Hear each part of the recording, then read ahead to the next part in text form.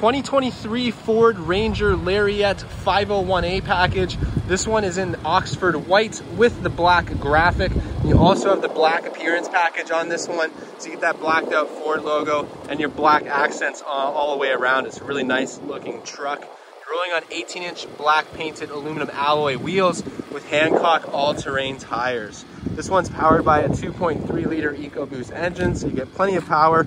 You do also have those five inch rectangular running boards. Coming around back here, you do have your trailer hitch. This one does have the trailer tow package. And in the bed here, you do have that Ford spray-in bed liner, which is nice to have.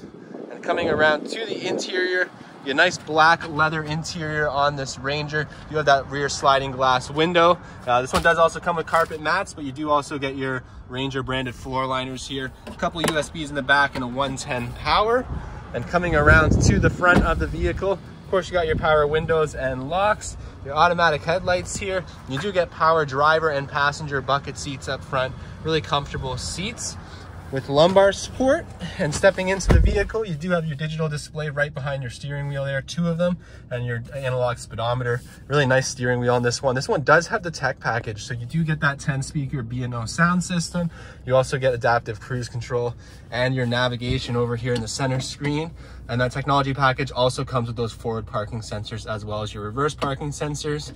Uh, this one does have your heated seats controls down here your climate controls uh, a lot of connectivity up front, a couple USBs and two 12 volts there. And then you have your different four wheel drive modes, your nice shifter here. You do have remote start on the key fob and you got some storage in the center console and also in the lockable glove box. So really nicely equipped Ford Ranger.